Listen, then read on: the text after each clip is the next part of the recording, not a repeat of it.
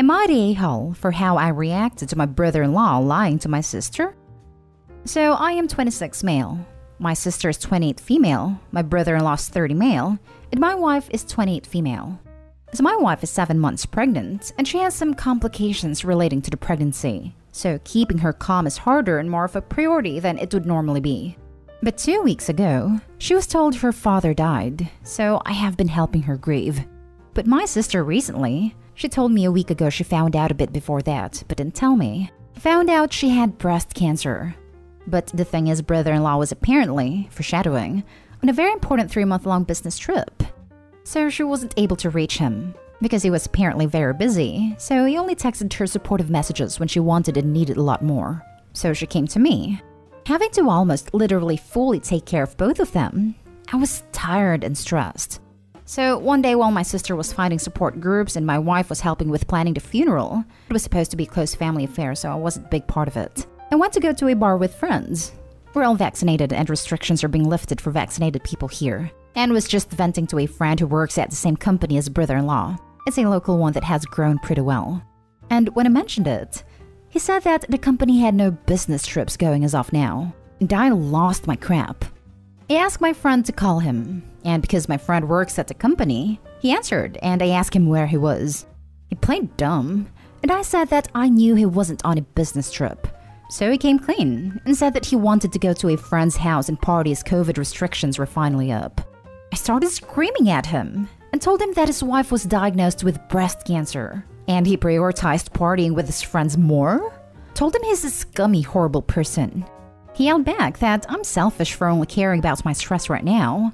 I retorted with he's selfish for not going back to his wife and yelled numerous obscenities and told him I would be telling my sister when she calmed down.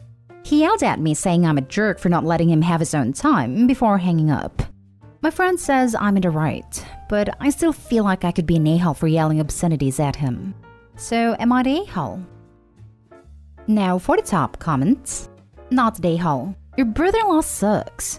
He has abandoned his wife for months to party when he knows his wife is in the midst of a medical crisis.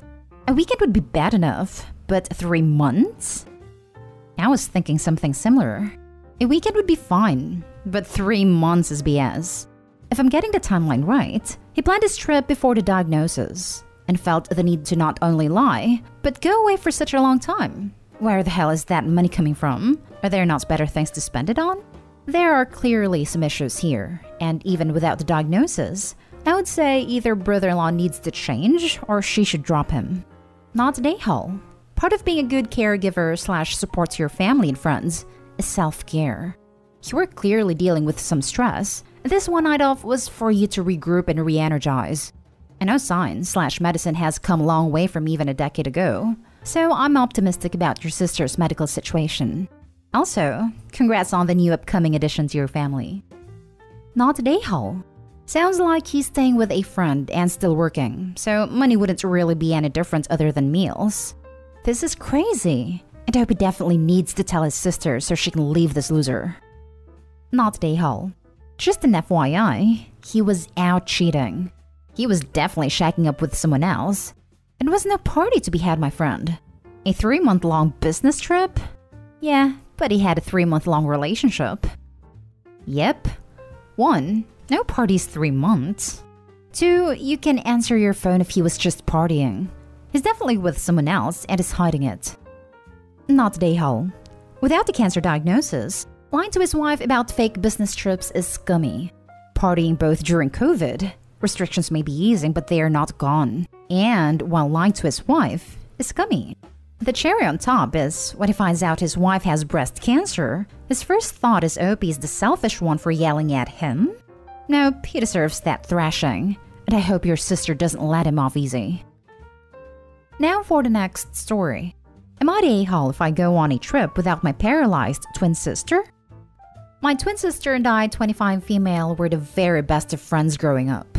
Did everything together, spent every minute together. We recently celebrated our birthday. We were originally going to go on a trip that would have us hiking, camping, exploring, and doing other outdoorsy things we've never done because we grew up in the city we live in now. Last year, my sister was in an accident that left her paralyzed. She's in a wheelchair and she'll never walk again. Obviously, this changed her life in ways I'll never understand. But I cried with her and spent all my free time, I go to med school in this city, with her when it happened. As she started healing, she started being very cold towards me. It was clear she wasn't happy that I was able to do things she couldn't, which I fully understand. She was getting nastier and nastier with her comments until I decided to give her the space she needed. It breaks my heart that we aren't as close as we once were, but I know she's going through so much. When our birthday approached, my father asked us how we would like to celebrate, and my sister said she wanted to go to a museum and dinner. She mentioned trying a camping trip in a few years when she was more used to her chair. We celebrated how she wanted and had a great time. She enjoyed herself, so I was happy.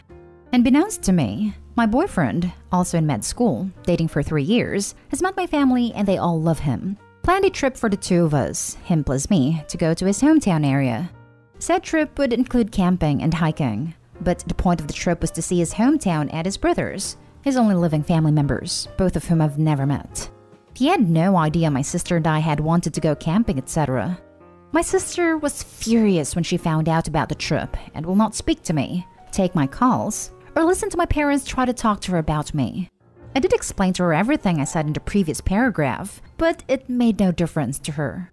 My parents have told me to go on the trip and that my sister will eventually get over this feeling. But the fact that my twin sister, who was the other half of me for 24 years, wants nothing to do with me has me feeling pretty low. I know the trip means a lot to my boyfriend, who has said we can cancel, but I feel like that would make me an a-hole to him instead. The trip would be in early June, so I can't wait it out too much longer and do need to make a decision.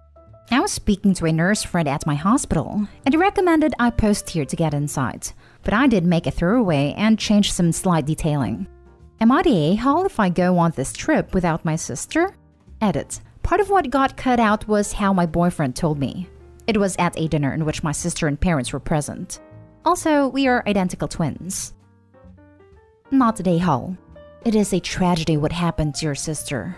However, it does not mean that you have to stop doing everything that brings you joy because she is no longer able to. It is certainly difficult for your sister now, but sooner or later she will need to come to terms with it. I hope she does. Also, that she's seeing someone for these feelings. I know it's common to do so after you've been in a traumatic accident, and if she's not ready, she should. Not a-hole at all. You are your own individual. Of course, it's alright for you to go on a trip with your boyfriend, without your sister.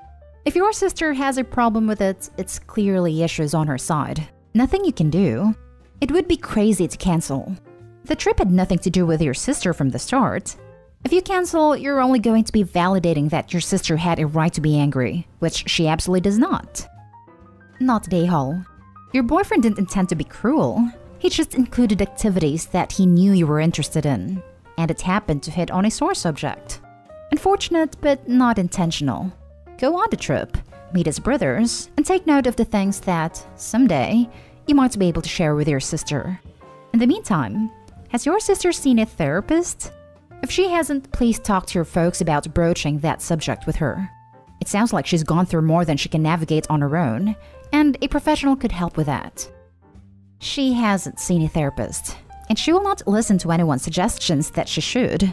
My mother and father have both tried, and her doctors have recommended it, but she doesn't like when people acknowledge she even has the chair. I think she has a long way to go before she'll really consider therapy. Next story is titled Am I the a-hole for not respecting my dad's wishes and inviting my ex-step siblings to our baby shower? My wife is pregnant with our first, and last week was our baby shower. I, 28 male, have two ex-step siblings, though we still consider each other siblings.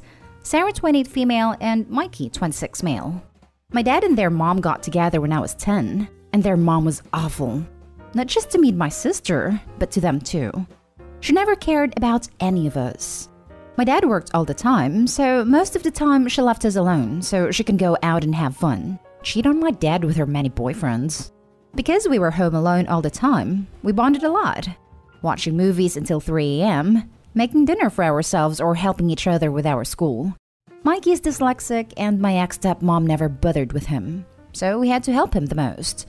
Their mom was mean to all of us, so that made us bond even closer have that level of understanding that we were all going through. My dad finally saw her true colors and how toxic slash abusive the marriage actually was when I was 15. It was an ugly divorce, and my dad wanted to be completely cut off from her, so we weren't able to see each other as much. He basically banned us, but we still hang out after school. By the time we were adults, my sis and I told dad he can't control who we can slash can't spend our time with, so he knows we're still in contact with our step siblings.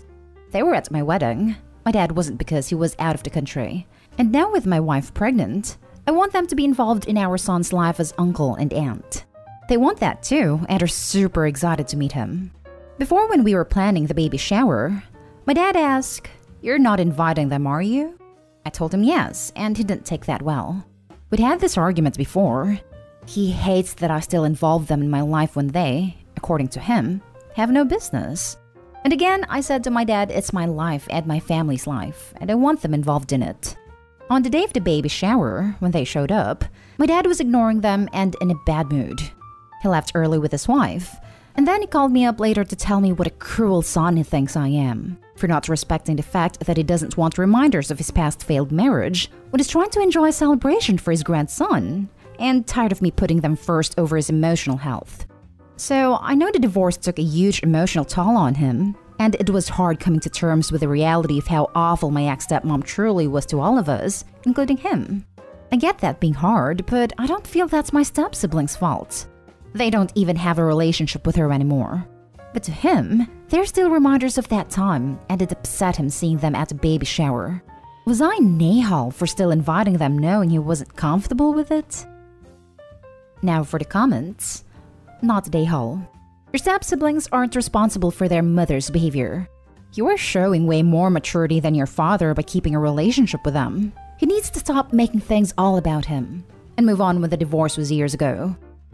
You divorce wives, not children. Not Dayhull. Not Dayhull. Your siblings were innocent in all of this, and your dad is the a-hole for holding it against them. For real though, there is only one person in the wrong here, and it's sure as hell not Opie. Not Dayhull. One of the great things about adulthood is you get to choose your family. You got two great siblings out of a horrible situation, and you have every right to keep them as part of your family. It's too bad your father didn't see it as an opportunity to gain two awesome kids, but that's his problem and not yours. Not Dayhall. Your father abandoned you with a woman he later learned was terrible, and he still can't feel anything for anyone but himself. To him, it's a failed marriage, but for you and your siblings, it was years of neglect and cruel treatment. He doesn't get to choose when he is a parent, and he doesn't get to determine who your family is. Last story. Am I the a-hole for telling my dad to stick his present up his behind? So I, 16 female, am still living with my parents. Their wedding anniversary is in a few days, and I gift them a handmade present every year. This year, I wanted to make a collection of canvas paintings for them. I am very busy nowadays, therefore I wanted to do this quickly in and go on my only free day of the week. Unfortunately, my parents chose that day to do gardening work. I told them beforehand that I was busy and couldn't help them.